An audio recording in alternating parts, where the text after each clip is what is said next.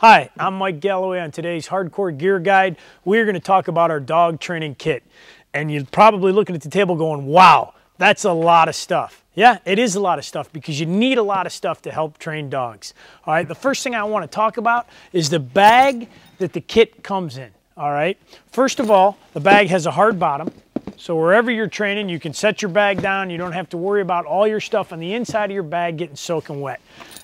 The inside of the bag has a waterproof pocket, which is where I keep all my dummy launcher ammunition. To, again, to keep it dry and keep it worthwhile.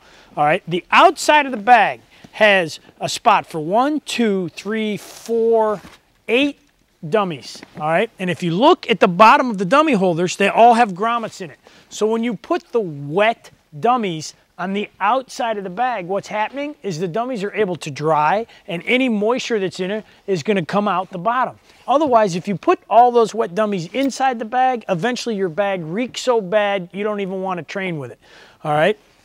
So again, for me personally, what I do is I stick my canvas dummies on the outside if they are wet because that gives them the opportunity to dry. I take my plastic dummies, I put them on the inside because no matter how wet they get, they're never going to absorb the water because they're made out of plastic.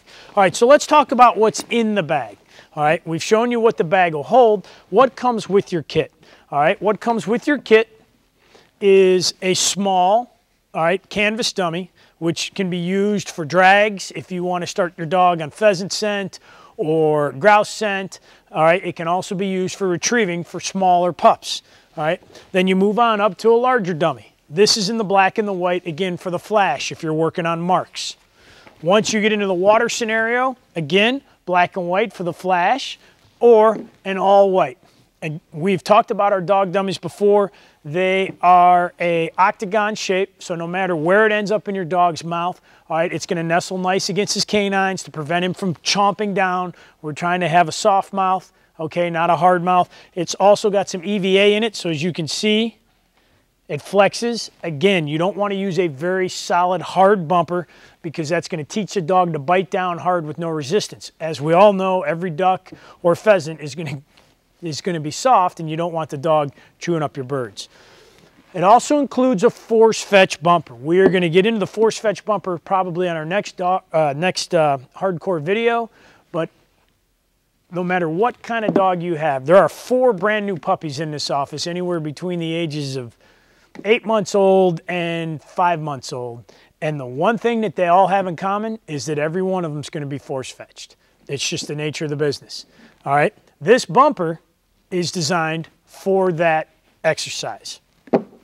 You also have an 18 inch lead. So when you're walking your dog up to the line, you have something to control your dog. When you're done, the nicest thing about the 18 inch lead is you can just clip it onto your belt loop and walk. When you need to put your dog back on the lead, you can pull it off your belt loop, clip it back on your dog. We even thought about the rubber bands to put around your canvas dummy so you can put, put the wings, whether it's a pheasant wing or a duck wing or a goose wing, you can put it on your bumper, wrap it with the rubber bands, and this way when you're tossing your dummies, your dog gets accustomed to having feathers in his mouth because that is a unique situation. If you've ever seen a pup or a dog be introduced to birds for the first time, he's coming back like he's got peanut butter stuck on the top of his mouth. Well, you don't want to introduce him to that on his first hunt. Let's introduce him to that before we get to the first hunt. Of course, your whistle, all of our dogs have been whistle trained. You know, one whistle sit, three whistles come and the water bowl. So many sad stories about guys that are training their dogs, all right, and they don't keep them properly hydrated, all right, or they work them too hard in the month of August trying to get them ready for, ready for September.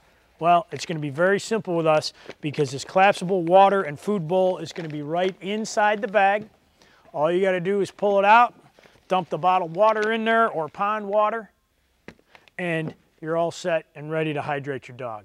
Again, this is Hardcore's dog training kit. It has our dog training bag, which can be bought separately. It has all of the items that we feel will help you train your dog from the seven weeks old when you bring them home to that six months old when you're bringing them out in the field. Thanks.